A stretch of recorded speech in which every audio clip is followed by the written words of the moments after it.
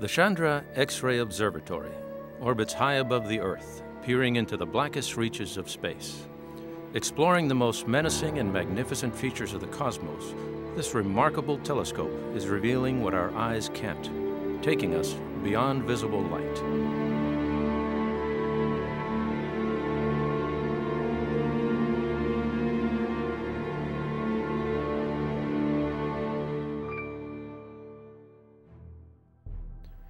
The bad boys of astronomy. Black holes inspire well deserved wariness and strange fascination. But what exactly are they? Scientists, harnessing the incredible power of Chandra, have discovered that black holes play a critical role in both the development and demise of stars and galaxies. While astronomers have long known that black holes existed, it wasn't until Chandra was launched in 1999 that some of their elusive secrets were revealed.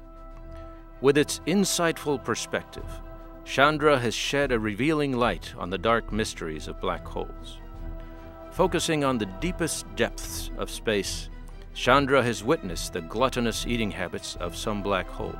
And uh, in those regions uh, where the X-rays are deficient, where the gas voids exist, is the same regions where you see the uh, radio uh, lobes, these jets and lobes that are formed from the radio. So you know that energetic particles are being shot away from the black hole by some kind of mysterious process, and they're clearing the gas away. They're pushing the gas aside.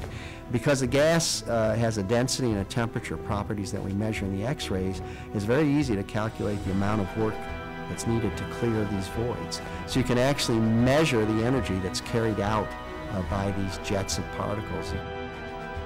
However, not all black holes mean certain doom for their neighbors.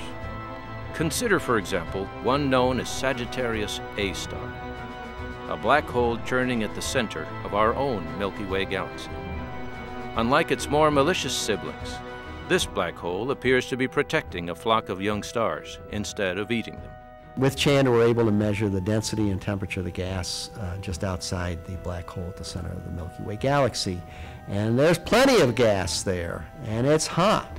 And uh, we should see, even with conservative theories, uh, instead of 100 billion times the amount of uh, radiation uh, that we see, we should see a billion times or some 100 million times. It doesn't matter. It's a large factor greater than what we see equal parts stellar destroyers and cosmic creators, Chandra's black holes exhibit dual nature.